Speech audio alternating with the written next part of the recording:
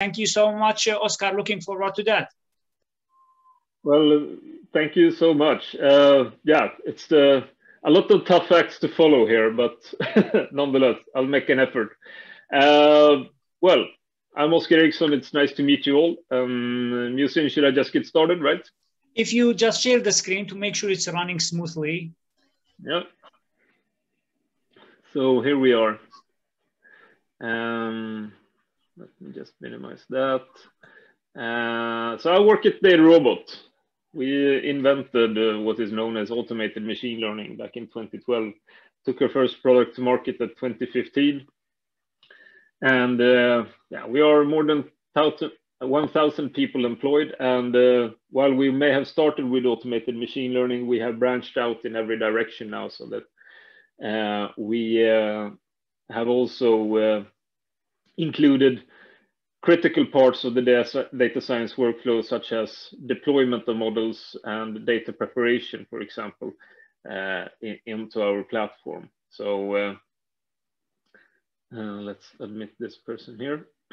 it's it's more than just model building nowadays. For those of you who, who there may have been a bit of a sort of misunderstanding with with the agenda sorry about that. Uh, so you may expect me to talk to you about uh, how to multiply data science in an enterprise. That's a topic I would love to discuss with you at some other point. Uh, you'll get my contacts in the end, and then we can talk about that. Uh, there are many ideas on how to work collaboratively and uh, efficiently across different roles and, and different perspectives in the enterprise. We have a lot of thoughts and opinions uh, about that, and it would be nice to discuss that with you guys. But what I'd like to talk to you about today is uh, really green machine learning, uh, lean green machines. I'd like to introduce the concepts of red AI and green AI, and um, try to explain the problem, what we see, and also a couple of approaches that are also platform agnostic in terms of how to solve them. Uh, we have put quite a lot of effort into that from DataRobot actually, uh, coming from uh, a couple of different angles, not only the sustainability angle, but also that whatever you do that is sustainable is also cost efficient and quick. And that's all good things, right? Nonetheless, this is the agenda. First, just like to cover what DataRobot does and sort of why we do it, and then go through a theoretical underpinning on what red and green AI is, and then how to shift from red to green, how to achieve this in DataRobot. But as I said, uh, you could implement it yourself. The the math and the science applies regardless of where you're working, and then to also take it a, a bit wider. Uh, a number of challenges related to being productive with artificial intelligence and machine learning today.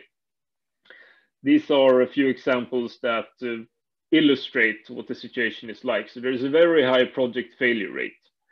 There's a lot of job openings for data scientists out there, and there's not much monitoring going on of uh, data and machine learning assets, uh, mostly models in production, that is. Uh, in today, um, I meet, and I'm sure that you do as well, uh, analysts trying to solve machine learning problems. So maybe they started with some type of spreadsheet tracking a KPI, and then it became more granular. So they were looking at the data at uh, its finest possible granularity, like transactions or customers, or that may be. Uh, so there become more rows, and but there also becomes more features or variables or columns. So the, com the complexity increases and the data requirements as well. And it becomes much more tricky to, to work in potentially your spreadsheets or, or in your visualization platforms to uh, take into account all of these uh, uh, variables that you know are important to, to monitor what you're trying to uh, uh, to analyze and, and also to become more proactive and potentially be able to predict the future. That's one thing. Other thing is that there is an existing set of data scientists, but yeah, um, they are very popular, so they can be quite difficult to retain at times. Uh, but uh, if you manage to get a hold of a couple who are loyal and sort of uh, delivering, they have to prioritize and compromise a lot because there's a lot of demand for their skills and the workload is expanding and that creates a project backlog. Um, yeah, so that's obviously uh, an issue as well. And then uh, since very little is, is monitored in terms of models in production, uh, it, it makes it sort of risky and difficult. Um, but also to uh, to govern and adopt. IT ops is a very different thing from machine learning operations because in machine learning operations, you need to include uh, data specific things that are perhaps not uh, a part of a traditional DevOps monitoring suite. And if people can trust that your models are making predictions and that also these models are making accurate and relevant predictions that make sense, why would they adopt and use them? And there may be also regulatory requirements on top of this all of these challenges uh, is sort of inhibiting data science from, from uh, happening. And uh, what we try to do with that is uh, that we upskill analysts to become citizen data scientists by using uh, no code and uh, automated workflows and with guardrails in place so that they can't commit any of the classical mistakes. But also we let data scientists become force multipliers by being able to collaborate with the citizen data scientists and help them out and guide them where they might get stuck and uh, if there may be some type of issue with the data that might be difficult to detect if you uh, are not well versed with how to evaluate machine learning models, for examples. And then also, uh, when you as a data scientist adopt an automation first uh, mindset, uh, it, it can and it will increase your productivity so that you can leverage DataRobot uh, to automate uh, some of the stuff that you might find difficult yourself. Myself, I always struggle to work with, for example, image data. So if something can help me automate that part, I can focus on the things where I'm better and then potentially come to the end product quicker. Uh, also with built-in support for, as I said, tricky data types such as visual data, images, geospatial data, time series, text, what have you. Uh, and you can deploy, monitor, and manage any models, regardless where you built it, in DataRobot or somewhere else. And you can deploy and monitor and manage it anywhere. So it can come from anywhere and it can be published anywhere, but you can deploy, monitor, and manage it in DataRobot. And they're ready to surface predictions so that you can consume them whenever you want. So that's sort of the quick take on DataRobot, what we do and why. Uh, stepping out of that, talking about red and green AI now. Um, well, what is the problem really? Uh, these are from a research paper uh, and uh, it compares the estimated carbon emissions from training common text models compared to familiar consumption. So as you can see there, uh, training a model can be like owning and using a car for a lifetime. And you know, it, it has probably happened on, on many occasions actually that a guys such as myself has been uh, playing around with uh, a big deep learning model in some type of data center on GPUs. And without really realizing it, uh, I would have burned quite a lot of money and carbon emissions just because I wanted to test a few things. So what does that mean? Well, uh, bad news. we this this is not sustainable. And uh, one thing is that it uh, releases a lot of carbon emissions when training the models. Uh, but the other thing is also that these models are so big and so resource intensive that you need to have a data center or a national government or uh, a huge corporation like Apple or Netflix behind your back to be able to actually run this because no one person or smaller organization can afford this, right? So it's becoming a democratic concern as well.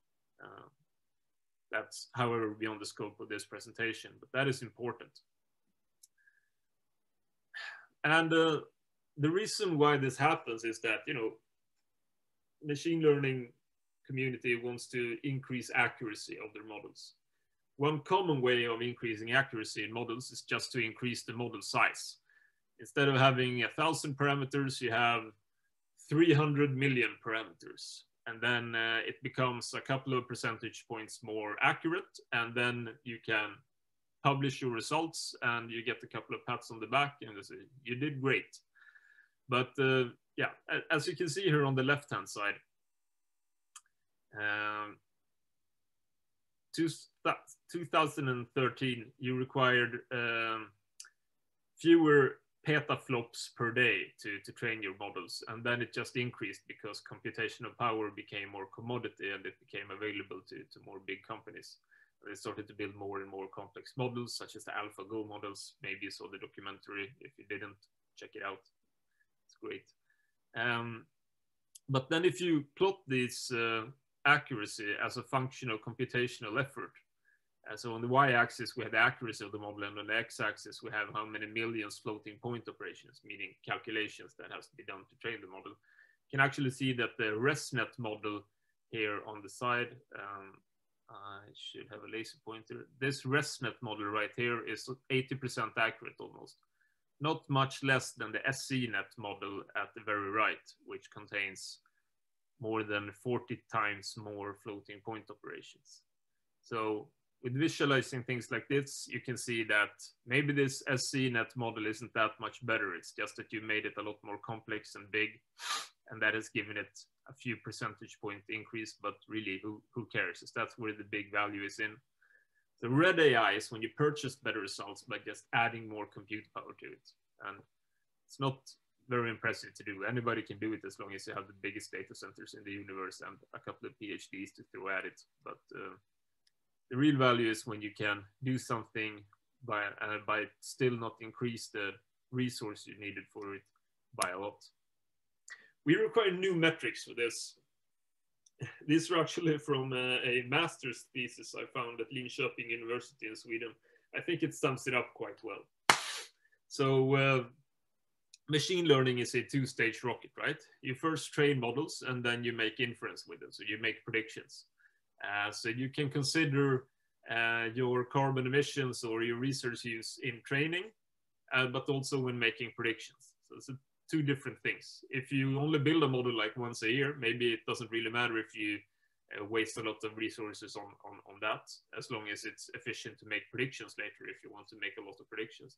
But then you might have the opposite scope that you train a lot of models, but you don't make as many predictions because you're more interested in, in insights or uh, any type of R&D environment.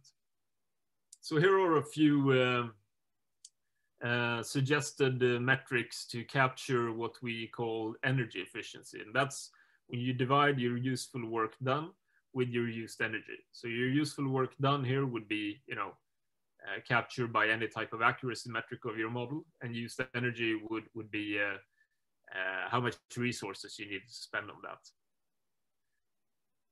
Uh, model size could be one thing to estimate um, the used energy to, to train a model, but also how long time it took uh, or how much energy was needed if you can actually get that information somewhere. And it's, it's good to know that um, when you um, train a model on a certain infrastructure, given the amount of other traffic that happens in that infrastructure at the same time. Let's say all your colleagues are also building models at that time or using your infrastructure for something else. But if there is a strain on the infrastructure, uh, it might mean that the training time is, is, is longer to do when other people are using infrastructure as well than it would have been when less people are using the infrastructure. So some of these, such as training time, for example, are not very stable across time because they may vary with how many other people are using your platform. Um, but uh, there are lots of different methods of discussing this, and you can probably find one that is useful for you. In academia, they talk a lot about flops, so floating point operations, because it's really platform infrastructure and time independent. So it's very comparable across everything. But if all of your business are on, for example, Amazon Web Services, then that doesn't really matter, right? Um, so yeah, you need to consider your reality when talking about these metrics. Um, sorry, I missed that whole point about this. Green AI is when you make AI efficient and accurate. So if you look at the scatter plot we looked at previously, uh, and uh, then you uh, divide the accuracy with a billion floating point operations, then we can see where we get the most bang for the buck. So you can see here that the FE-net one, which is the one on the far left, uh, but with an accuracy of 75% basically, uh, then that one is the winner in that competition. Whereas the SE-net model, which is in accuracy terms the best, is, is actually the worst. Uh, so that is one way of, of, of analyzing this. Um, next steps here is to sort of how to maximize efficiency in machine learning in general, and also a bit about what it looks like in DataRobot, uh, and then uh, sort of how to pick the right projects, etc. so the cost function proposed by a couple of researchers uh, at the Allen Institute of AI uh, is that uh, the cost grows linearly with the cost of processing a single example. So that's like a raw data basically, size of the training data set and the number of hyperparameter experiments. Uh, that's the equation of red AI as they coin it.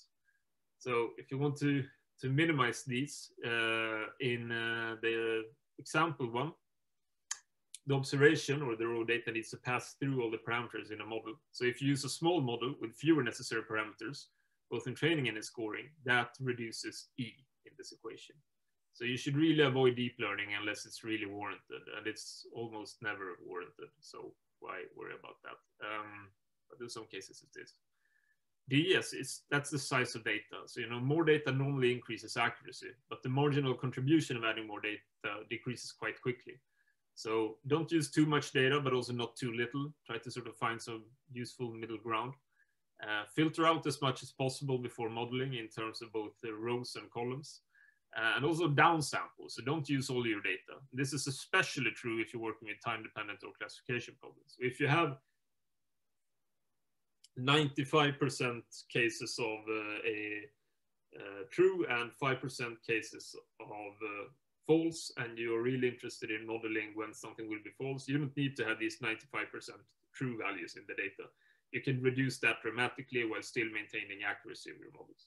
If you have time-dependent problems that, you know, for example, if there's been a pandemic recently and you know that the data from 2020 is not very useful, then you will probably end up with a more useful model that is only looking at more recent data. So if you have a time component in it, think about it and then get rid of the data that you don't need. To look further back in databases and data sources is normally not helping anybody. Uh, use feature selection techniques and if possible do that prior to starting your modeling. Some of them are built in when training models, but then you know you have sort of already uh, started to, to, to burn a bit of, of uh, carbon. And then also consider file types. Some of them are more space efficient than others. H, hyperparameters. So hyperparameters, they are tuned within models to maximize the predictive power of them. Can be uh, optimized in a couple of ways. You can do it manually or you can do it by testing all possible combinations. That is something we'd advise against. It's not a very efficient way. It will waste a lot of time and resources. Uh, so do it to some extent, but use it through a smart search of the hyperparameter space, not all of it. Uh, and remember that you're probably just going to make a couple of percentage points uh, of, of, accuracy by tuning hyperparameters. The real value is finding the right data for your model. So don't spend too much time on that. It's almost never that beneficial. Um, in DataRobot, how is this done? Notice the Winamp logo for all of you kids of the 90s out there. Um, so our exploratory data analysis before even starting modeling removes redundant features that are not useful. That decreases the amount of data and can do so quite drastically actually. So here we see that this variable here, miglitol or feature, uh, they removes it because it has few values. 99.9% .9 of them are no. And then we just have a couple of rows of steady down and up. It's not useful for modeling. It's discarded. We find it out for you prior to modeling. We let you in a very visual way downsample your data so uh, that you can uh, um, easily get that done. It would require some expert coding in the good old days, but not anymore. Uh, we build lists of features for you to use for modeling, and we also let you add your own so that you can use the, uh, the ones that are necessary. And we also recommend which ones will make the best result for you. Uh, we provide tons of information that will let you combine accuracy with training energy and inference energy so that you can easily sort uh, your results by how efficient they are. And uh, we let you choose models based on how quick are scoring new predictions. That's a sign of their efficiency. Uh, we provide learning curves so that you know how uh, uh, how much value it adds to to bring more data to the table, so that you can see that when these do not drop anymore, uh, you don't need any more data. I have tons of examples when we reduce data dramatically for customers that is necessary to make accurate models. To maximize the green in your projects, there are a couple of different things that, that you can do. So this is sort of an overview of what you're doing in, in the machine learning process, right? The AI workflow. Uh, so during the discovery and problem definition, try to find use cases that lead to lower carbon emissions for you as an enterprise, like, I don't know, fuel optimization or any type of resource waste that you can identify to reduce that. But more than anything, make sure that the business is on board so you're not wasting resources on your project, both in terms of manpower and compute power. Because if, if the business is not on board, then nothing is ever going to materialize anyway. And it's just you guys having a bunch of great ideas, right? And make sure that CO2 is part of the success KPIs. During data preparation exploration, try to find the optimal amount of data. I know it sounds a bit hard, but uh, there are some methods you can apply to this. Um, when building and developing tuning, avoid deep learning, perform smart search of which models to pursue, so not only hyperparameters, but also which models, use a diverse set and then narrow in on the ones that show to be promising. Automate feature engineering and selection so that you reduce the data as quickly as possible. Uh, standardize insights and documentation for quick adoption and understanding and knowing whether to proceed with the project or not. Again, avoid deep learning. it makes everything just much more messy.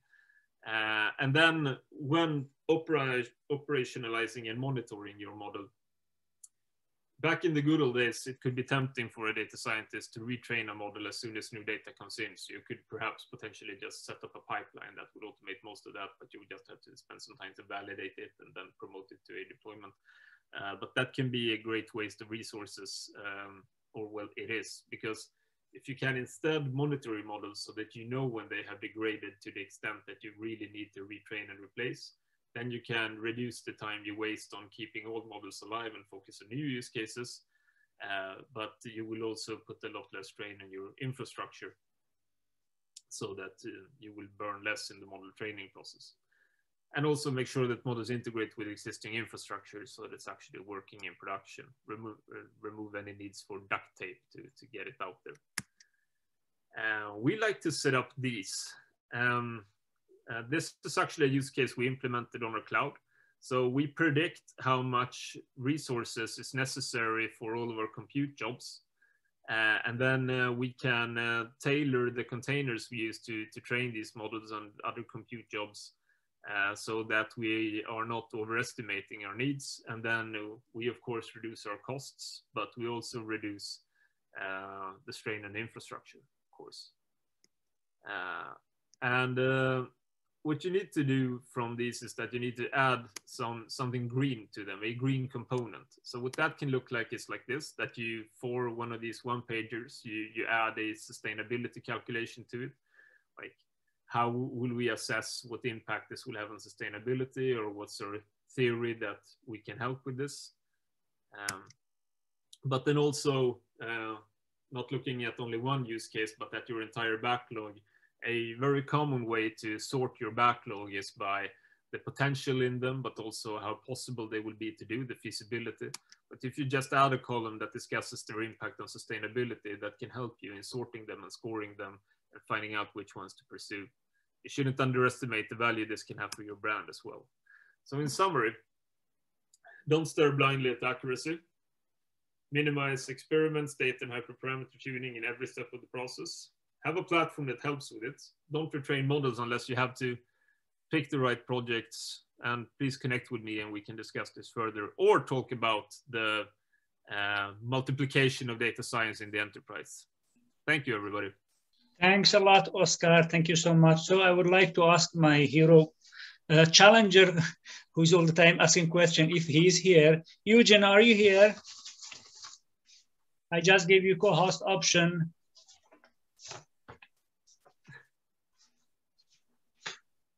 Or the colleagues from Posti, Posti from Finland. They, they are a lot of them here and I would like to see some questions from people who haven't asked anything yet.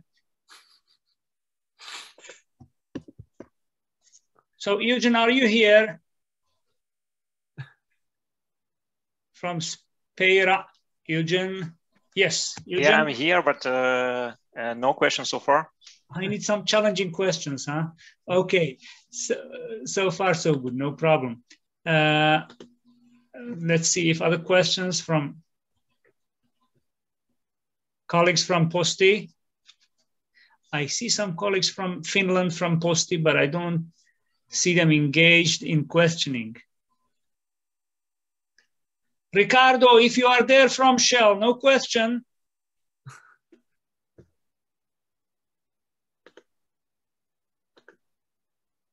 There are a lot of potential use cases for, for these uh, companies that you're talking about. For example, how to reduce the risk when uh, drilling for oil and and reduce the amount of spill. But also when you drive around with with mail, you may want to do it in the most energy efficient way, right? Exactly. So I'm just trying to to get the the most out of it to to challenge, but uh, it seems they don't have questions. That's fine. Honestly, Musin, yes, uh, Ricardo speaking. I don't have question. I'm just impressed. I really like this concept of the red uh, versus green, and uh, yeah, time to digest now. But it's uh, yeah, excellent point. Not to overcomplicate the model, but to look to the result and then to shape the best, uh, less consuming model to get to the same result. Let's say, or uh, yeah, optimize the combination. Very. Thanks very well done, Oskar. It's really make us think, I, I, guess, not only me, but all of us in the audience. I'm flattered. Interesting. Thank you. Thanks, uh, Ricardo, for getting engaged. Just Gustav, again, a question. How do you address uh, versioning when going for no code? Gustav, you have the camera and mic possibility on. If I didn't correct, uh, correctly read the question, you can ask yourself. Uh, that, is, that is great. I, I, I, admit that I have some bias for, for code being a developer. Same here. Uh, so what was the question? How, how to handle version control if you're not using code? Yeah, I think you said that uh, you had a no code approach. Uh, yeah, uh, so uh, the DataRobot platform can be accessed either through a very shiny and good looking graphical user interface uh, but it's also accessible through a REST API or through Python and R. So you can use it in a code method as well. So then you would get version control because you can, you know, put stuff in in uh, in, in, different uh, developer software that is tailored for that. But uh, if you use it uh, no code, uh, version management is possible to do at the project level, but also at the model level, uh, and also for any type of data asset that you that you might have. Um, I understand. Thank you. Thank you.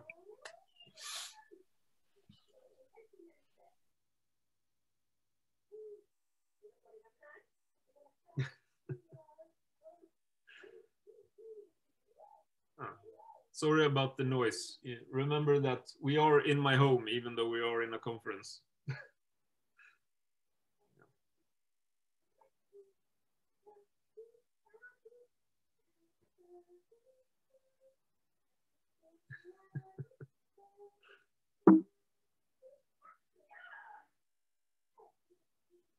Musin, you're on mute if you're talking. Sorry, sorry, I didn't notice that. So Dennis, Dennis Jacobson uh, from Myers, if you can switch on your camera, you have co-host option now for this question.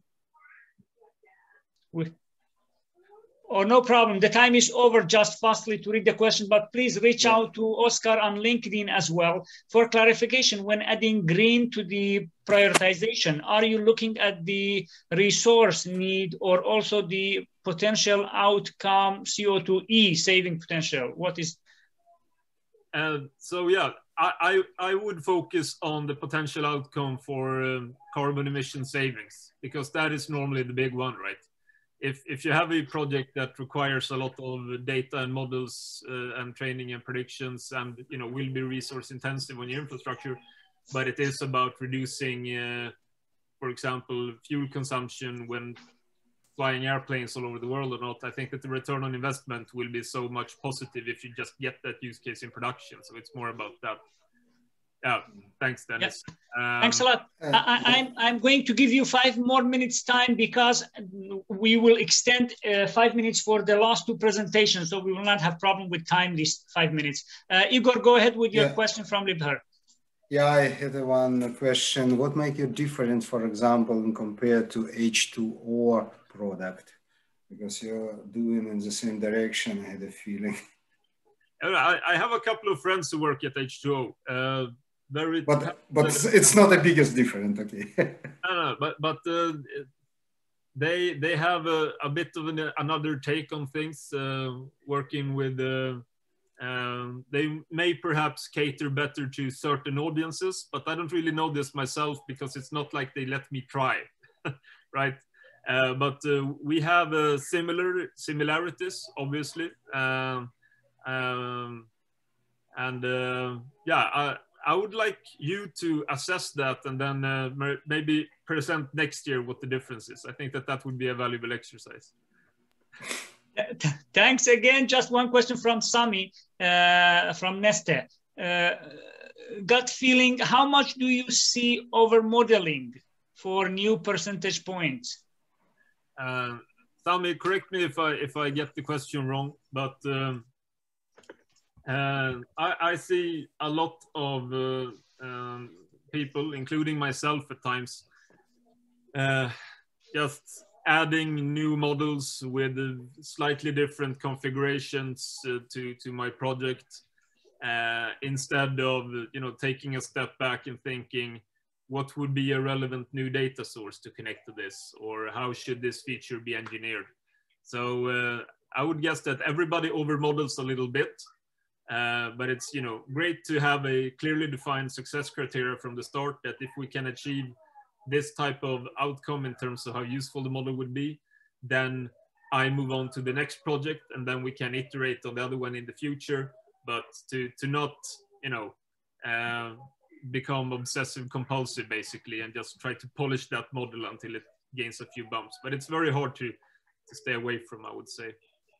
Yeah that that was exactly the question. Thank you. Thank you for the for the answer. Kind of additional one as well that okay how uh, like john said earlier that kind of getting the goal right. So not even necessarily adding the data, but also making sure that you're answering the correct question, right? It's kind of one of those things that you don't answer the wrong question and improve a model that doesn't need to be used. yeah, and I guess we all have done that at least twice. Yeah, yeah, yeah. okay, Sami, one last question from uh, H&M Group. I suppose Patrick is writing. Uh, so the question, Patrick, uh, mm, you see it as well, uh, Oskar on the chat, yeah? Patrick Waldenström just jumped in again, so missed this presentation, unfortunately, but very important topic, energy uses from data processing will explode, and I think the only part I saw, adding the sustainability. So go ahead. Yeah, uh, Patrick, we can uh, sync uh, offline and, and I can give you the presentation um, more properly and we can discuss further. Uh, I know that this is a big topic for H&M. You want to be a leader in this space, clearly, both in terms of how you do machine learning, but also with your business. So, yeah. Yeah. Oh. Hit me up later. Okay, so we will be sharing the presentations one week after the event later. So next Saturday, Sunday, it will be done and sent to everybody. Thanks